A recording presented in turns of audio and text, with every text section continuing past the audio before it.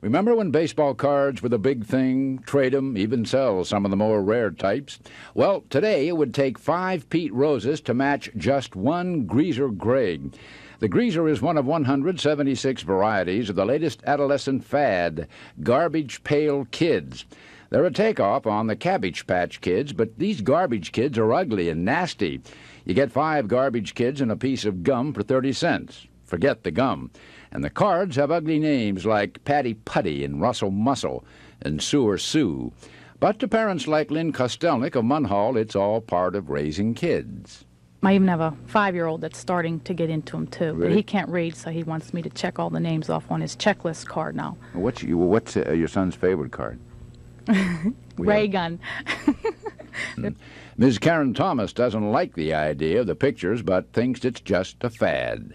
I think it's a fad. It's it's just like the baseball cards and the football cards. It's something to trade, and uh, I think they'll get over it soon. Something else will take its place. On the back of the cards are instructions on how to cheat and eat with your fingers.